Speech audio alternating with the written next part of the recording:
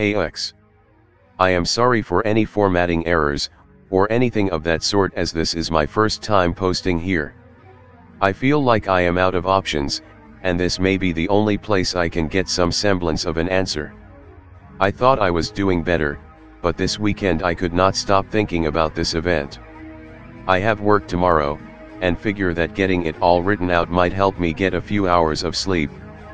This all occurred about six years ago, the summer I graduated from high school. Me, and three friends were all going to colleges hours away from each other, so as for final hoorah we all pitched in and rented a cabin in the Appalachians for a week. It was maybe 10 minutes away from the nearest town, but still surrounded by development. The whole thing was probably more tourist trap than anything, but we didn't care. We planned to spend the days hiking and exploring the nearby towns, then spend the nights shooting the schists and playing COD Zombies on my buddy's old Xbox 360. We spent the majority of the first day just driving up there, and it was dark by the time we got to the cabin. We set everything up, chose rooms, and played a few rounds of Keno on the TV in the common area. We called it a night a few hours later, and we all planned to get up early the next morning. I want to emphasize that we did not have any drugs of any kind with us. I've tried to tell this story to my parents, and they were convinced that it was nothing more than a bad trip. This was not the case. The next morning, I woke up with my alarm at 7 o'clock. I went downstairs to find I am the only one up, even though we all agreed to get up at this time. I went to my friend's room, and started knocking on his door to try to wake him up, no response. At this point, I am a bit fed up, so open his door and enter. Nothing. The covers of his bed are messed up, like someone had been sleeping in them and his luggage was here, but he was gone. At this point, I thought that these assholes had just left early. I checked the other two rooms, and saw that they were empty as well. Just to be sure they left, I went out to the driveway. The car was still here. I figure that this must just be a part of some joke they decided to pull on me. I walk back in and start yelling for them, telling them to cut the BS so we could start hiking. Nothing. No response but my slight echo. I tear through the house trying to find them, but they are not here. At this point, the only spot they could be is the woods out back. I call one of them, and hear his phone ring from upstairs. I find it laying on the nightstand next to his bed. Repeat the process, and see that all these bastards have left their phones home. I spend about 5 minutes looking for them out there when I notice that the woods are quiet. I am by no means a woodsman, and spent my entire childhood in the suburbs, but even I could feel that the forest should not be this quiet. There were no birds, none of the summer insects, just the quiet breeze through the trees. I say screw it and decide that if they want to spend the first morning hiding in the woods to mess with me, I am just going to wait inside. I play some zombies again, but after about 30 minutes passes I start getting worried. There is no reason for them not to be back by now. I start getting really worried. I write a note telling them that I am looking for them in the woods, and to call me if they find the note before I find them. 30 minutes in these terrifyingly quiet woods, and still nothing. I have no clue what to do, so I go back to the cabin, and call my parents. First my mom does not answer, then my dad. I then call 911. At the time it felt like a bit of an overreaction, but I did not know what else to do. The line rings for about 5 minutes, but is never picked up. The only thing I can think of is just to drive into town to try and find help. I search around, take the keys, and head off in my buddy's SUV. I get about 5 minutes down the road when I see some asshole who has his car stopped in the middle of the lane. I swerve around him, only to come across more of these cars, just stopped. Look inside as I pass them, and they are all empty. By the time I am close to the town, the roads are blocked by these empty, parked cars, all of them still running. I think this was the moment I realized I was alone. I am not going to act like that thought never crossed my mind earlier, but this was the first evidence I had of it. I make it into the small town, and it is void of people.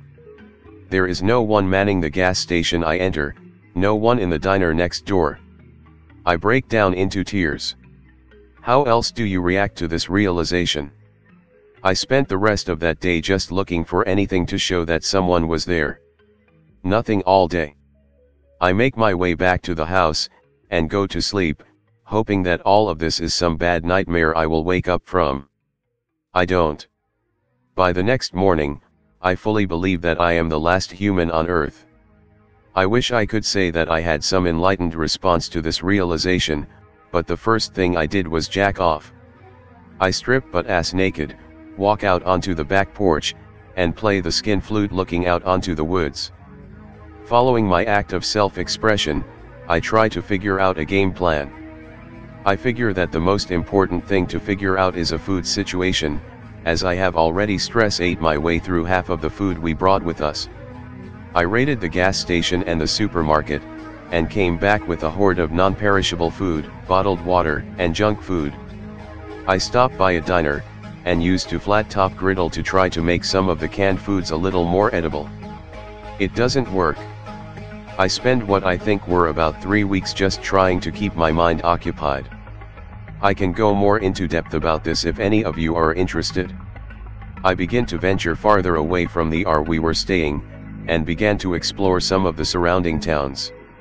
I spent some nights sleeping in the car, some nights sleeping in motels off the highway.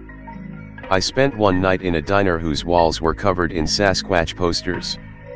There were no animals or bugs around either, but the trees seemed fine. One morning, I drive into another small town, and step out to take a piss. Here however, there was a sound.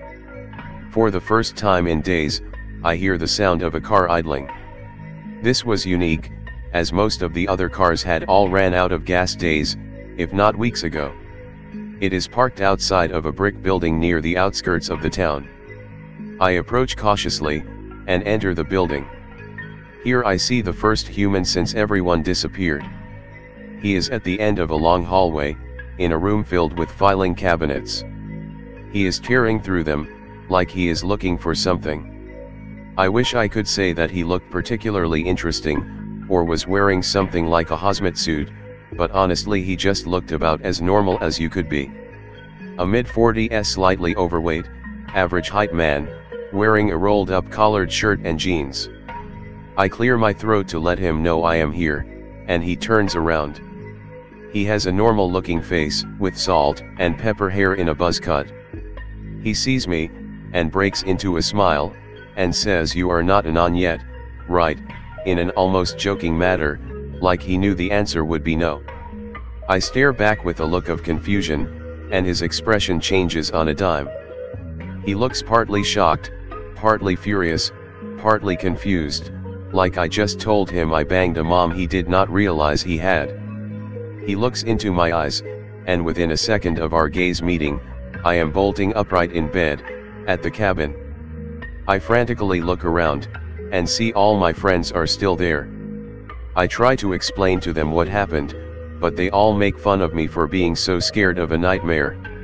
It wasn't a dream though. I remember it as vividly as memories, and during it, I tried to wake myself up multiple times. All the places I visited were exactly the same out of the dream. I had never been to that Sasquatch diner before, but I convinced my friends to drive over there, and just like in the dream, it was covered in Sasquatch posters, this time with staff running it. The only exception to this was the brick building where I saw the man.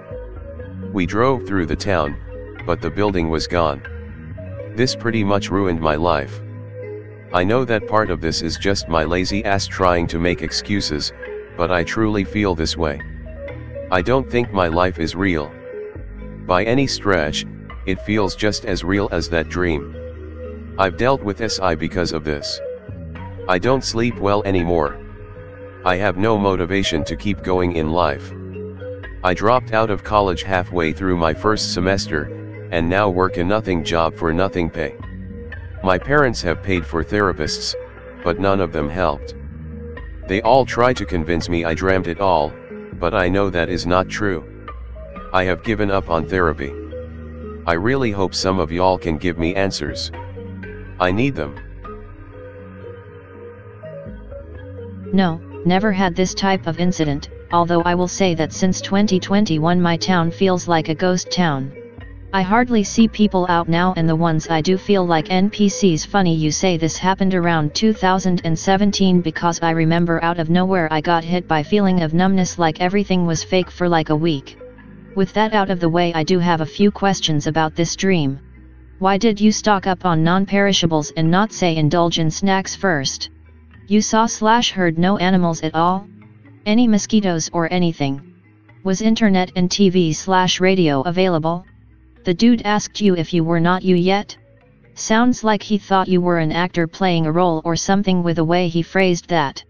Also reminds me of the coma lamp Reddit story.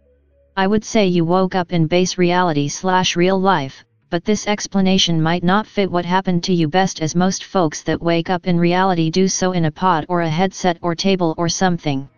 Maybe you did, but your case was just different. Sorry for not replying sooner, but I just saw this now.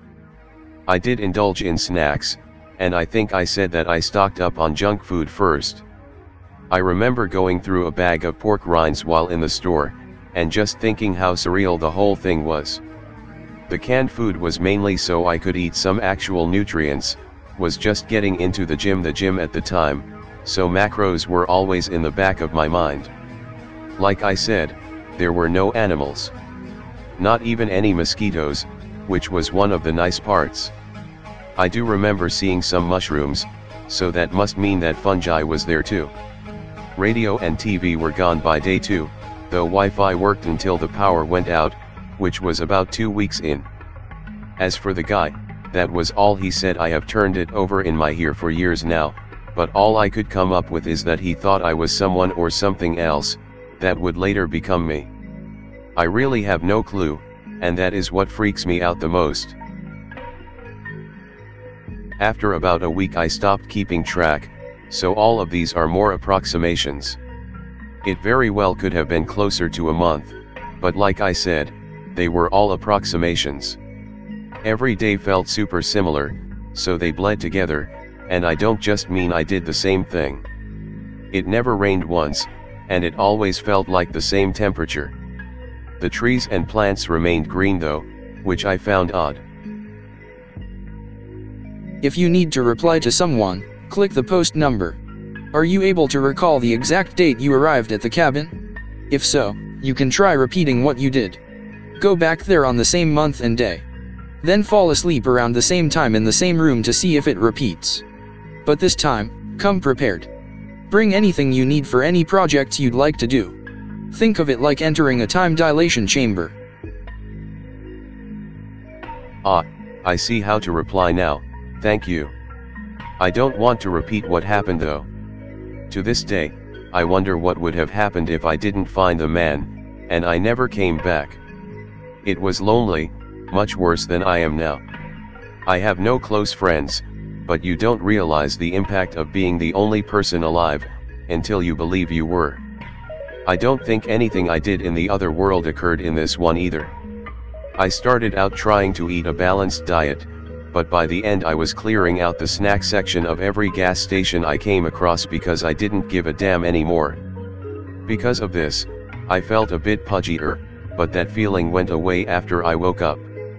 Of course, I can't verify this as I did not have any scale. You're welcome. You were given an extremely rare gift.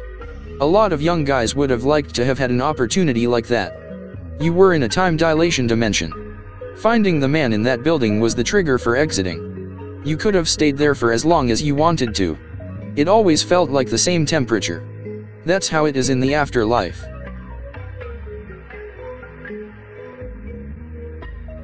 I wonder if part of the trigger was me being at such a transitional part of my life. I was going to go out on my own soon, and maybe my anxiety about that served as a catalyst. Me being at such a transitional part of my life. That might have been a factor for why you were chosen. Did it feel like perfect spring weather? Not cold enough to be autumn nor hot enough to be summer. I think just slightly warmer than that I would say it was warm enough that I felt uncomfortable in the sun, but it was cool in the shade. I realized after the fact that I never got sunburned, which is odd considering I burn super easily normally. That sounds like afterlife weather. It's perfect every day. What about the nighttime weather? Nighttime weather was perfect. It was cool but not cold, and I looked forward to being able to stargaze at night, enjoying the weather. Did the gravity feel different? I don't believe so. It sounds like you temporarily died in your sleep. And the world you were in was your afterlife room. Did the man you meet look like he could have been how you'd look when you reach your 40s?